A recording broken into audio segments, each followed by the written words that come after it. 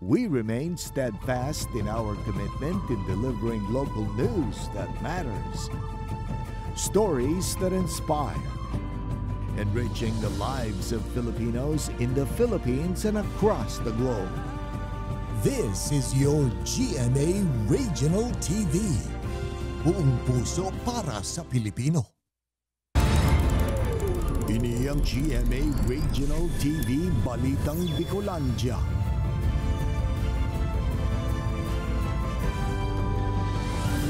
Diyos marhay na hapon mga kapuso, uni na ang balitang Bicolandia. Hatud miyan pinakadarakula asin pinakabagong mga bareta sa Kabikolan. Kami ang tropa nin katotohanan, mahatud nin mga baretang mayong pigkikilingan, mayo nin pigpoprotehiran. Live hali digdi sa GMA Complex sa Naga City, ako po si Kate Dolovieres. Purot kan mga trimobile operator asin driver sa Naga City na 2 pesos na dagdag pamasahe, aprobado na alagad Trimobile Group sa syudad nagkiirad sa kondisyon sa ordinansa na enkasong di mainaan an sa indang mga bayulasyon, ibabalik sa dating presyo kan LGU ang pamasahe. Ang detalye, aramunta sa pagtutok live ni Chris Novello. Chris?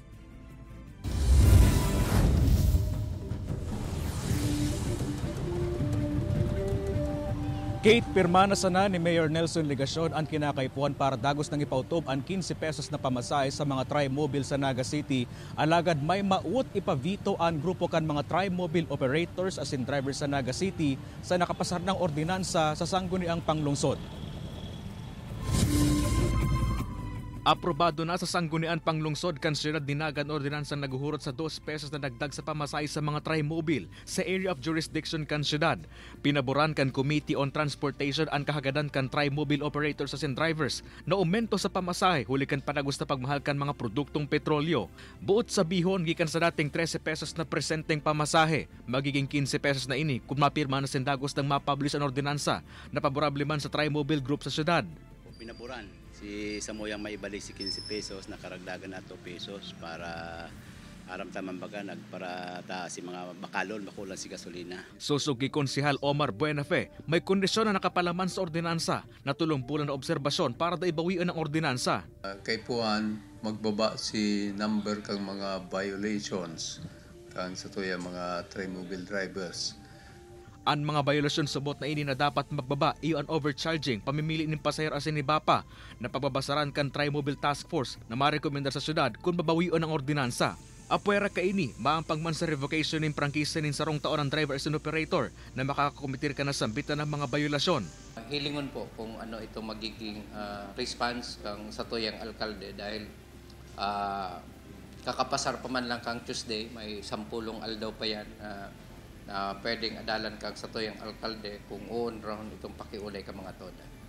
Mientras tanto, naiintindihan man subot kan pirang pasahero ang siring nakahagadan, urog na taara man nindang padagos na nagmamahal ang presyo kan mga produktong petrolyo. Parang hindi naman po siya gaanong mabigat for me since meron naman pong um, naka parang nakatabi na allowance for parang for trans, transpo and then parang deserve din naman po ng mga tricycle driver na mag-add ng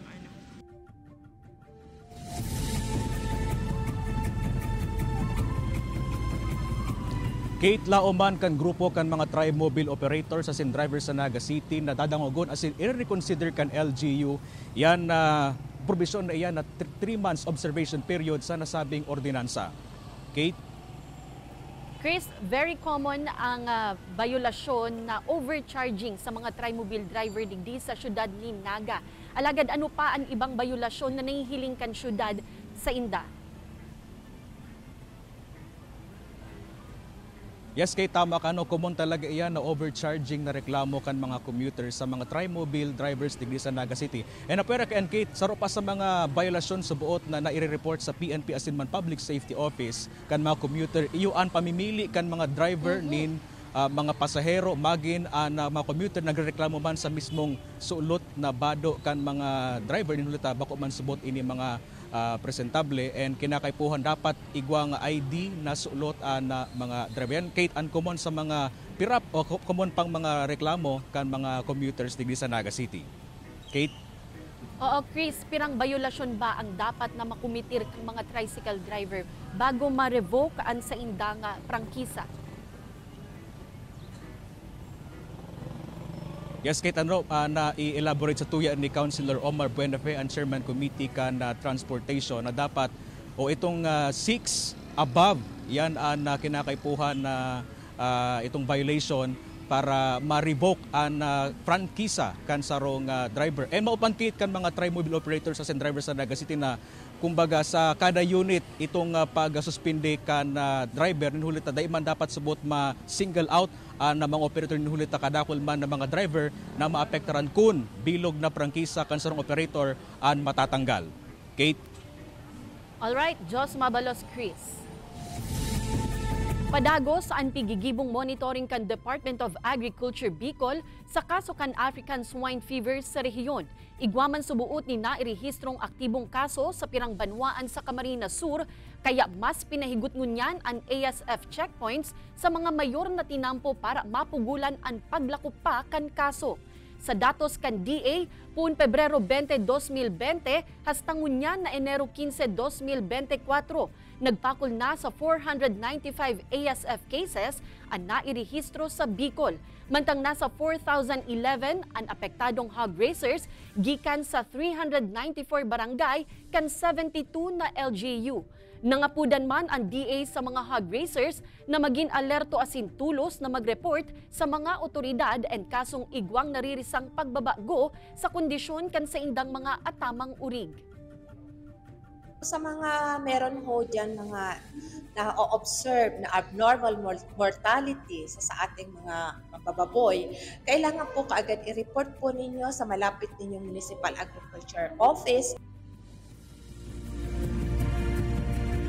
Pirang mga paraoma sa Buhi, Camarines Sur, pigahabol ng makatanom nin paroy, antes na dagos mamatean ang epekto kan piga antisiparang El Nino. Maabot na mainit na panahon, makakatabang man subuot para sa magayon na gusi kan mga paraoma. Uyan report ni Jessica Calino. Sibot na ngunyan ang pirang mga paraoma sa sityo Hinulid, Barangay Lourdes, Buhi, Camarines Sur. Hurot kaya nindang matapos na ang pagtarok nin paroy ngunya na aldaw, nganing saktong bulan nin Abril o Mayo sinda makagusi. Susugman ini sa PGN Kaminarkan Department of Agriculture Bicol na early planting o amay na pagtanom ngunya na cropping season. Sa bulan nin Pebrero pigaanti si Parana mamamatean na ang epekto kan El Nino kaya ngunya na nagtatagauran pa iyuman subuot ang perpektong panahon para sa mga paraoma tanganing magtanom na. Iyo po para naambunan so tanom para dagdag man po niya ng nabubuhay ng tanom po. Then ang problema tapos nagtatalabo na sinda, nagdadakula naman po. Sigun sa 44 anyos na si Tatay Ruben, dipisil kayang tarukan kung alang naan umahan o mayo nin mga pag-uran. Madaling tubuan tagok, madaling anak tagok, madaling makakuan. So, yung mga damo-damo, madaling magtubo. Pero kung may tubig, ari ang tubig dili, kuan, pa, pawara-wara. Pag naguran, agapan, sa forecast rainfall analysis kan pag-asa na pigbabasehan kan Department of Agriculture Bicol, suwak pa man ang near normal rainfall ngunya na Enero para sa pagtanom nin paroy sa rehiyon.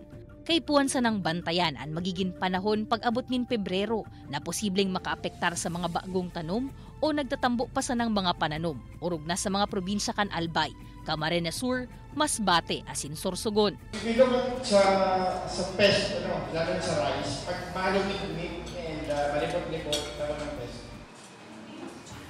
Mas sige pag dry season. Pag wet season, mas dako. Bentahe nga ni daan mainit na panahon para sa mga paraoma. Kaya piglalauman maninda Cecil, nangunya na nakapatanom na sindanin amay antes paman mamatean ang El Nino, magiging magayon man ang sa indang gusi, makalihis ang tulong bulan. Anyway, irrigated naman to, wala naman yata ang problema pinipray namin na talagang maging maganda ang harvest namin. Kasi last harvest is talagang affected. Halos lahat. Konti lang yung naani. Kaibanan si Jovel Obiso, Jessica Kalinog, Balitang Bicolandia.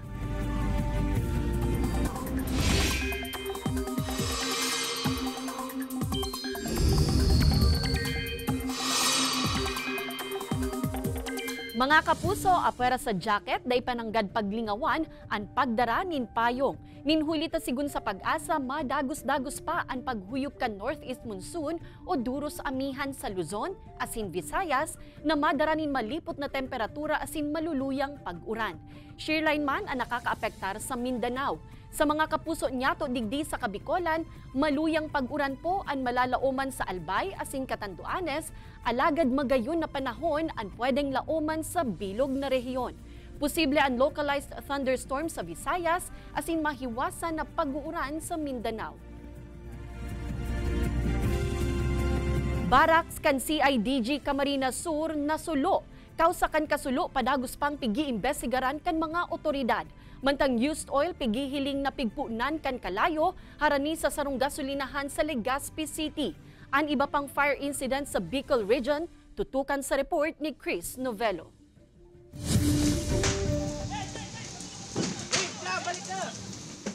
Marikas na kinakaning kalayo ang barak sa quarters kan Criminal Investigation and Detection Group o CIDG Camarines Sur sa Barangay Concepcion Grande, Naga City pasado alas 10 nin aga kasubago.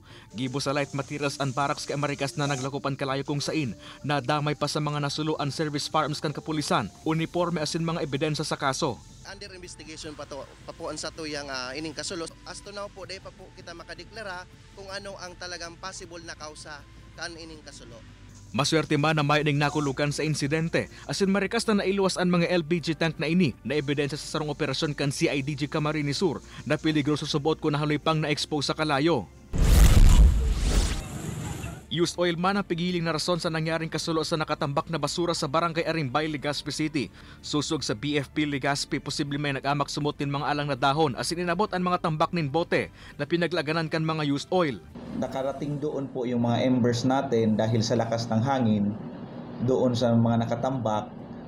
Kaya po yung sunog, yung usok, maitim po at saka lumakik dahil nga dahil nga po sa mga plastic bottles na iyon. Sa Banwaan Kanararoy mas bate sa harong man sa Barangay Poblacion Zone 6 ang nasulo. Maagahon kasuod ma. Kinakarkulong na sa 36,000 pesos ang winalat na danyo sa kasulo sa harong. Nagibo sa light materials. Sangon yan, nagpapadagos pa ang pagigibong investigasyon sa insidente. Sa Sorsogon City, duwang tricycle na sulo mantang nakaparada sa barangay Piot. Sigun sa sarong barangay official enot na nagkalayo ang sarong tricycle. Asin nadawi pa kainin ang sarong pangkataid na tricycle. Sangon yan, pigaaram pa ang totoong rason kan pagkasulo ka na sambitan ng lunadan. Kay panan si Carla Abonita, Chris Novello, Balitang Bicolandia. Ini ang GMA Regional TV Balitang Bicolandia.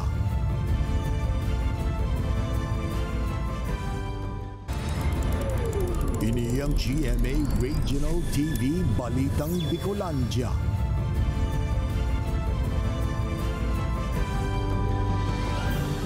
Nagkapirang jeepney driver na consolidated na, aminadong napiritang magpa-consolidate huli sa takot na daina makapagbiyahe puun Pebrero 1. Mga unconsolidated jeep na mapirit na magbiyahe sa Pebrero, ididiretso subuot sa mga impounding area, susug sa LTO. Tutukan sa report ni Chris Novello.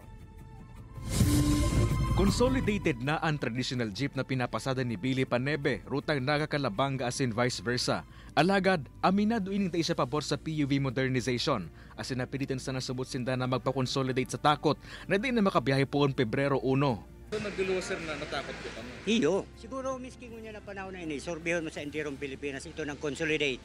Mas favor itong natakot sinda. Siyempre nakasalalay dyan ang pamilya mo eh.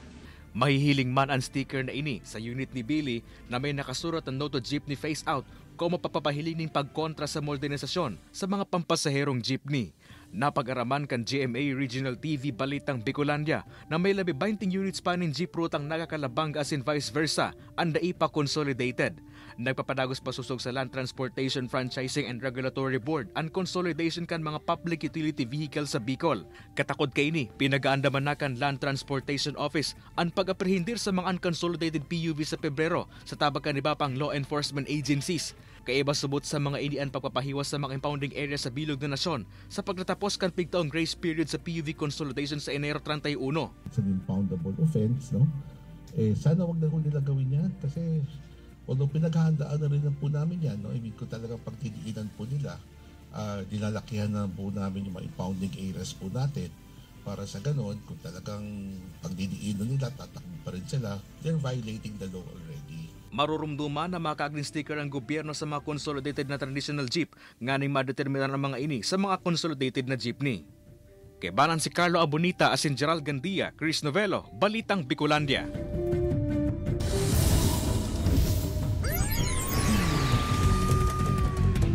Sarong truck ang nagtagilid sa kalabaan kan Maharlika Highway sa barangay San Isidro, Castilla, Sorsogon. Sigun sa MDRRMO, pasiring kutaan na sa Sorsogon City ang truck. Alagad pag-abot sa nasambitan ng lugar, posibleng nagputok ang sarong ruweda kaini na naging rason para mawaranin kontrol ang driver. Nabangga kaini ang sarong harong asin nakaparadang motorsiklo na nasa gilid kan tinampo hasta dagos ng magtagilid. Maswerte man na daing nagsapo nin malalang tama sa lawas ang driver kaini. Kasabay kan pagkakadiskubre sa sarong drug den sa barangay Sagrada, Baaw, Camarines Sur, walong persona man na imbwelto sa illegal na droga ang napasakamot kan mga otoridad. Sa ginibong buy-bust operation kan pinagsarong pwersa kan kapulisan, nasa 191,000 pesos na illegal na droga ang nakuha sa posisyon kan mga suspetsyado. Sarong persona man ang nakadulag sa ginibong operasyon asin padagos pang pigahanap sa presente. Nagtitinir ang nadakop na mga suspetsado sa kustodiya kan Baaw MPS, mantang pigpepreparar ang kasong isasangat kontra sa mga ini. Problema sa tubig kan sarong tribal community sa Banwaan ni Buhi, Camarines Sur, masisimbagan na sa tabang kan bombahan na ipigmukna kan sarong pribadong organisasyon. Uyan istorya ni Jessica Kalinog. Sa maghapon, duwang container nin tubig ang nakukonsumo ni Dananay Arlene. Antes magdiklom, kaipuhan liwat na magsakdo para sa gagamiton pagkabanggi. Alagad ang sa indang pigkukuanan kaini, sarong bukal na pirang kilometro pa o haros sarong oras na ralakawan ang rayo sa saindang residensya. Pag nagbaba po may raot na panahon sa may bagyo, mayo kami na arokan. Kaya magtiyaga kami magsa, mag-igibduman sa pinaka-arayo talaga. Tulong oras po bago ka makakuha ng tubig. Kaya labing kaugmahan man ni Nanay Arlene na makalihis ang pirang dekada, may naimok na ng bombahan sa sainda mismong komunidad. Kinseng kaharungan sa saindang Agta-Agta Tabangnon Tribal Community sa sitio Sogod, Barangay Santa Isabel Buhi, Camarines Sur ang mabenepisyo sa bombahan na ini na pinagibo kan grupo ni Gustavo. Years ago, I was able to come here with a friend, pastor friend, and we were able to basically know this community and we saw the poverty that is, exists in this community. So, you know, this year, after eight years, we were able to get a sponsor in the U.S. to be able to build the pozo for them. Because one of the problems here is the source of water, sir? There's no, there's no water. They have to travel about uh, one, two kilometers away from Barangay San Isidro to be able to get some water. Kasuod mapasa na natapos ang 150 piyeng rarom na bombahan, kaya medyo malabo pa ang nagluluwas na tubig. Alagad makalihis ang tulong semana. Piga antisiparang klarong-klaro na ang tubig digdi. I-monitor ko po sinda na talagang ano, uh, unang-una pangalag, pahalagahan, ingatan, tapos po ano po uh, para masustain po ang uh, paggamit. Apwera sa makukuanan ng tubig, oportunidad na makatapos pagklase man ang sa indang pigo o presyer sa mga hovenes sa komunidad. Siring na sanakan aki ni Nanay Marites. Isi mo mama ko po, gusto ko nga ni maano sa mga aki ko. Tako, dahil man ako naka, nakaabot sa na akong grade 1 po ma'am. Iyo, sabi ko mga aki ko, gusto ko makatapos man. Nagtutubod si Gustavo na sa tabang kan maray na edukasyon, maabot an panahon na dai nakakaipuhanon kan komunidad nin tabang kan ibang tao. Asinsinda mismo, makanood man to pay it forward. Nganing makatabang man sa iba pang nangangaipo. Kaibanan si Jovel Obiso, Jessica Kalinog, Balitang Bicolandia. Ini ang GMA Regional TV Balitang Bicolandia.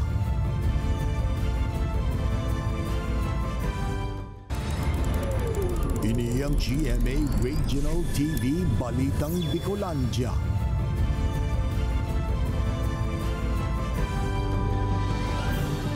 Mantang marhay pa ang panahon, ang kamugtakan kan panahon, pigsabayan na ini kan MDRRMO sa banwa nin Bato Katanduanes, nin preparasyon and kasong nagkakaigwa o magkakaigwa nin pagbaha sa banwaan. Tanganing marikas kayang ma-monitor ang level kan paglangkaw kan tubig sa mga flood-prone area sa banwaan, nagbugtak ang opisina nin flood gauges sa mga barangay kan Talisay, Libho asin Bagong Bayan. Ang mga lugar na ini pirming nagkakaigwa nin flash floods kung igwang makusog na pag-uran. Apwera kaini plano man na magbugtak nin water level monitoring sa mga salog sa nasambitan ng banwaan. malaman ng mga motorista kung gano'n nakataas yung tubig sa kalsada na yan. Kasi sa tabi po siya ng kalsada naka-install.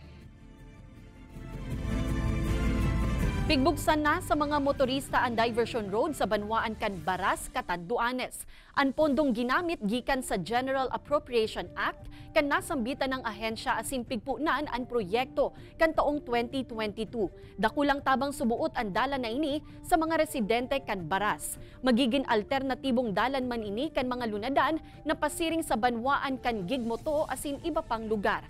Sigun sa DPWH, huli sa Hiwas Kantinampo, pwede namang digding gibuhan in recreational area. Mantang dakulang tabang man ini sa turismo kan banwaan.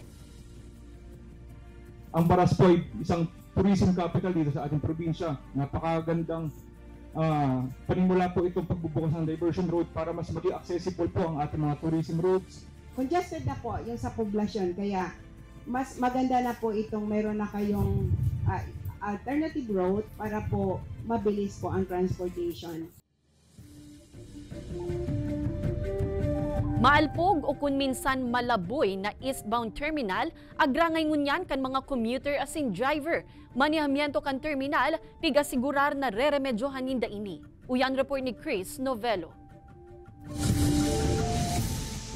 Puon subuot kan ibinalyo ang eastbound terminal sa lugar na ini matulong taon na ang nakakaagi. Agrangay na kan mga pasahero asin driver at maalpog o kun minsan, malaboy na natad kan terminal. Kung matagal pong exposure, pwede po maging risk siya. Mahal po gun, mahal po gun. May sunstorm sa terminal. Dispensa ang hagad kan manihamento kan terminal asin naminado sa haloy ng agrangay kan mga driver asin commuter sa lugar. Kasabay ka ini, ginigibuhan naman subot tindaning remedyo ang problema kan riding public asin mga driver na nagpipila sa terminal. Uh, kukongkreting kita kani yung terminal, sisimintohon na po yan. Tapos gabos pong autong yaon dyan sa luwas, dapat ma-accommodate midigdi sa laog para maiwasan naman po itong mga illegal parking. Sa paagi subuot kay ni, mas magiging organisado ang terminal pun sa entrance and exit kan mga PUV, nganing mas dangkilikon kan riding public ang pagpasirin sa terminal para maghalat nin malulunadan. Nasa eastbound terminal ang biyahe kan mga jeep na pasiring sa Bula, saba kasi ni pang ruta sa partido, daraga asin Ligaspi sa probinsya ning Albay. Kay Baran si Carlo Abunita, Chris Novello, Balitang Bicolandia. Paggamit asin pagpapabakal nin vape mas tututukan kan lokal na gobyerno kan Daet Camarines Norte. Task Force pigbilog na para tutukan ang implementasyon kan ipinasang vape ordinance. Uyan report ni Rosie Nieva. Mantang naghahaloy, mas naglalala na subuot ang problema sa paggamit ng vape urog na kan mga hovenes sa Banuaan ng Daet Camarines Norte. Inibasado sa pag-aadal asin monitoring kan Municipal Health Office. Sigon sa mga eksperto, day manararayo ang maraot na epekto kan vape sa sigarilyo.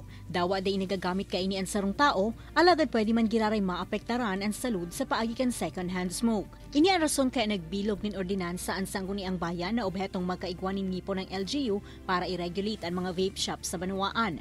Sa irarom kan ordinansa, nagbilog man in task force na papanginotan kan PNP kay bana ni iba pang ahensya kan gobyerno kung sa in target na masyertong dai makakabakal ang mga minor de edad nin vape. Bali may penalty po tayong makukuha kapag may nahulihan po tayong nagbenta ng vape o bumili ng vape pagdating po sa mga minor natin. Bali 2,500 pesos po.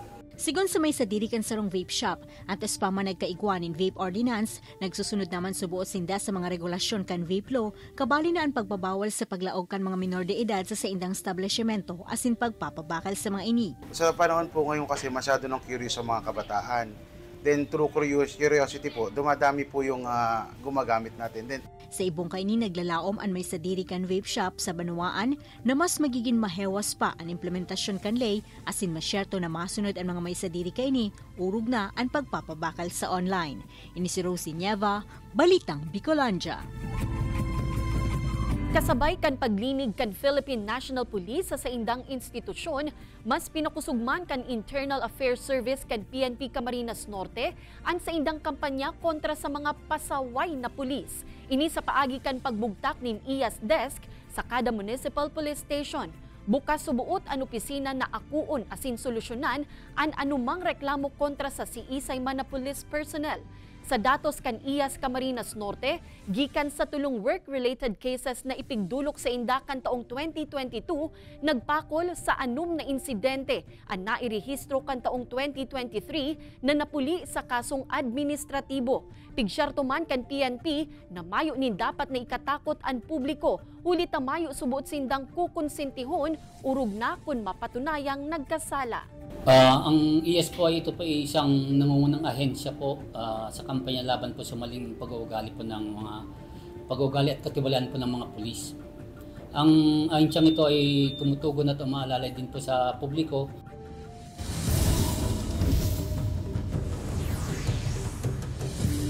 Ruro Madrid, balik taping na makalihis na ma-ospital. Mantang mga dapat antabayanan sa Love, Die, Repeat asin asawa ng asawa ko. Aramon sa report na ini. Balik taping na si Ruru Madrid matapos na idalagan sa ospital huli sa flu asin sore throat. Sa saiyang Instagram, pigheras kan kapuso action drama Prince, ang sarong selfie suulot ang sayang Black Rider costume. Ang sa iyang fans todo suporta man sa pagbalik trabaho kan aktor. Ang tabayanan si Ruru sa sa iyang pagganap como Elia sa Black Rider 8pm pagkatapos kan 24 oras. Lord, gabayan niyo po ako para makauwi ako sa mag-ama ko. Mientras tanto, ngunyang Webes sa asawa ng asawa ko. Nagpuuna ang kalbaryo ni Christy sa mga kamot ni Leon. Ano daw ang koneksyon ni Shaira kay Leon asin sa mga nangyayari sa buhay ngunya ninda Jordan asin Christy. Aramon iyan at chan sa asawa ng asawa ko, 9.35pm sa GMA Prime. Mantang sa mga nagiinit na eksena sa Love, Die, Repeat, madidisgrasya na si Bernard. Magpuunaman kaya na oro aldaw asin pa uro utrong pagsasabuhay ni Angela sa aldaw na ini, ang tabayanan iyan sa Love, Die, Repeat, 8.50pm sa GMA Prime. Ini si Don Jimenez, Balitang Bicolandia. Madadalan ang episode na ini asin iba pang pinakahuring lokal na bareta sa official website kan GMA Regional TV www.gmaregionaltv.com. Pwede man kamong magbisita sa samuyang official YouTube channel, GMA Regional TV, asin i-click ang subscribe button para sa pinakamaiinit na bareta hale sa man ibaybang rehiyon. Mabalos sa mga kapusong Bicolanong nagantabay, maging sa mga kapuso nyato abroad. Ninhulita sa GMA Regional TV, Local News Matters. Asin yan ang pinakadakula asin mainit na bareta sa Kabikolan. Ako po si Kate Dolovieres. Kami ang GMA Regional TV Balitang Bicolandia, bilog na pwersa para sa mas dakulang misyon asin mas mahiwas na pagserbi sa nasyon.